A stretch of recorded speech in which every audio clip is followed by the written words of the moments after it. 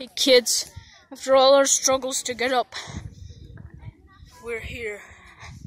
This is probably one of the most famous natural spots in Utah, except for me, the Great Lake, Great Salt Lake.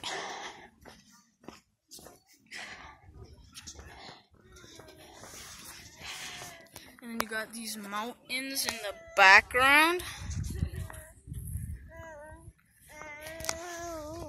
Got these rocks, and then you got this, the delicate arch.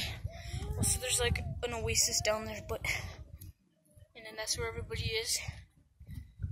It's beautiful. It's better than I thought it would be. It's bigger than I thought it would be.